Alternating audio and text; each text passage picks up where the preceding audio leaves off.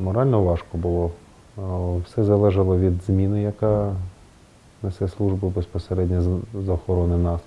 Книги забирали, телефони, ні- ну, понятно, не, не, не дозволяли. У мене з- сохранилась тетрадка по німецькому язику, я изучил немецкий язык по тетрадке. Была возможность, э, рабочая группа, которые там по желанию привлекались к работам.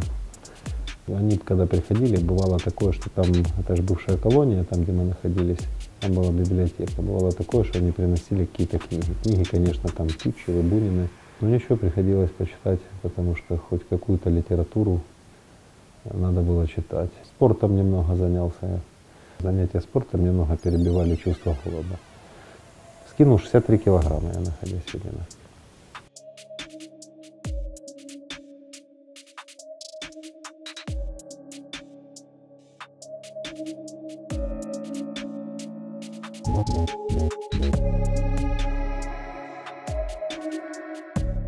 Обычно, когда списки такие зачитывали и выводили людей, э, они уезжали в неизвестном направлении, никто не знал потом, где они находятся. Поэтому мы с полной уверенностью, нацепив все, что можно на себя нацепить, потому что была информация такая, что э, вещи все забирают.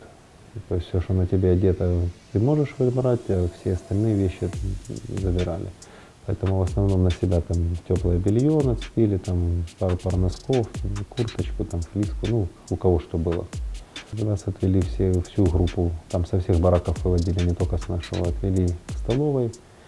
Возле столовой это место, где обычно э, они производили наши досмотры, шмоны так называемые.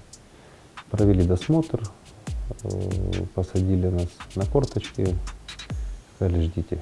Там подъехало три КАМАЗа, э, вышли люди в черных футболках, такие крупного телосложения.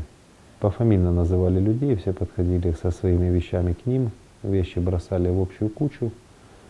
Э, У кого была шапка, тому шапку натягивали на глаза и пере- перевязывали скотчем. У кого не было, просто вложили черный пакет и перетягивали скотчем. Завязывали руку и грузили, ну да, в прямом смысле слова, грузили в КАМАЗ.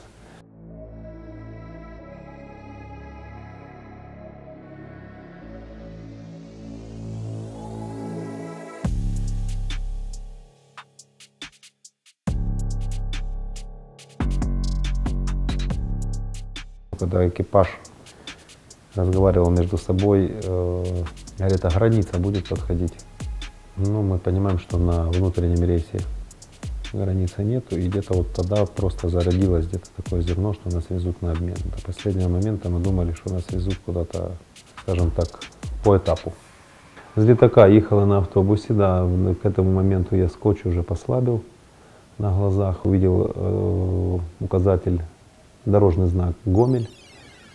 А Вот, я пон- понял, что мы в Беларуси, и еще дальше по дороге видел указатель Чернигов.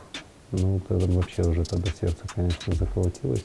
Приехали мы на какую-то точку, остановились где-то в районе какой-то заправки. Там уже сидели мы, нам, нас никто не развязывал все это время, никто не, руки не расслаблял.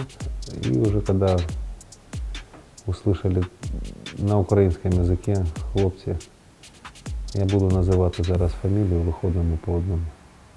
Ну, тогда уже вот, почувствовали мы себя, что неужели, неужели сейчас произойдет этот момент.